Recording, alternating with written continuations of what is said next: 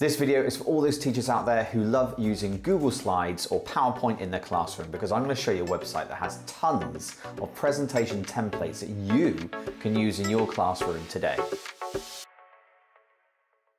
So I've been using this website to help plan and build materials for my lessons on my Cambridge Delta course.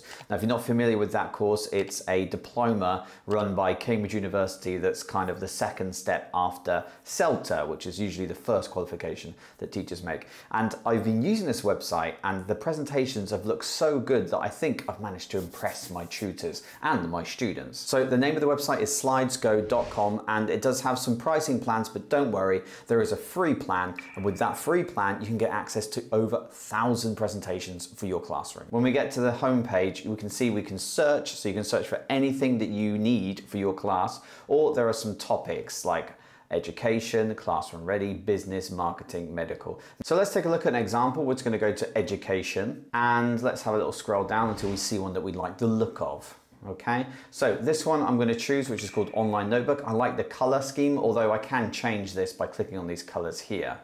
Now, as I said before, I like the look of it, I like the aesthetics. Now, the text and everything that's in the presentation, I'm gonna change. But just from looking at it, I think this is something that looks nice and I think I could use this in my classroom.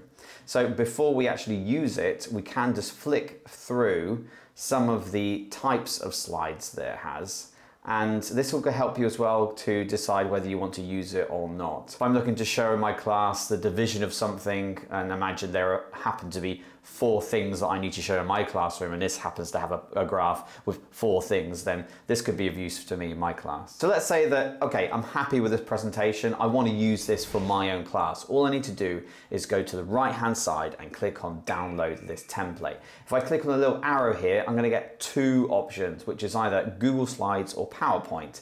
Now, I'm a Google person, so I'm going to use the Google Slides. This is what I'm going to do with you today. I'm going to show you how to set this up within Google Slides. So I've clicked on Google Google Slides and it's now going to ask me to make a copy because obviously I can't use the original. Now within my profile, within my Google account, I've now got a copy of exactly the same presentation that I can now edit as much as I want. So as you can see, there are 60 slides that contain the presentation that we just downloaded. And something that I actually missed when I first started using this was if you keep going down, there are actually some alternative resources. So if you're editing this presentation and you're missing some icons or some graphics, actually at the end of the presentation, there are slides that contain lots of icons and resources you can just copy and paste into the slides that you want to use. So for example, if I click here, I've got a learning icon pack and all of these icons can be selected and copied. Now, if you're wondering where is this presentation saved? Well, if you just go to your Google Drive, in the case that you're using as a Google slide, and it will just be placed in your My Drive folder. So the first place you visit when you go to Google Drive.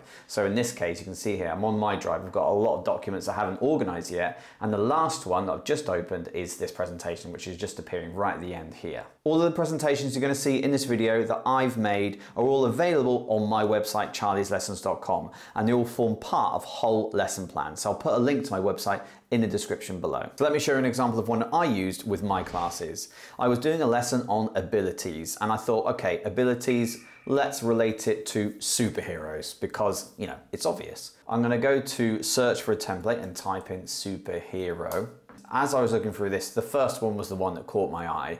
So I just clicked on this and as I showed you before, I downloaded it as a Google slide. Then to use it in my class, all I did was I just deleted some of the existing slides and created these ones. So I took these images actually off the internet, but some of these slides actually came with the presentation itself. So for example, this division of the slide here with the verses in the middle, that was already there and it worked really well when I was working with the difference between can and can't. So here's an example of a lesson that I've done with my students. It was on the topic of travel. So I searched for two key terms that I wanted to look for, which were travel and booking. And I found this one, which I, again, I like the look of. So you can see here, this slide was part of the original presentation. All I had to do was just to edit the text to some questions I wanted to ask my students about airports. And so here's another example of a presentation I took from SlidesGo and all I had to do was just edit some of the text so it fitted with my class. You can see that some of these slides, for example, this contents page works really well because this was a longer lesson and I wanted to give my students an idea of what the structure of the class was. It also had these nice titled slides which separate the lesson into sections which really helped my students to follow the class. Don't forget, if you like the look of the presentations that I've shown you in this video,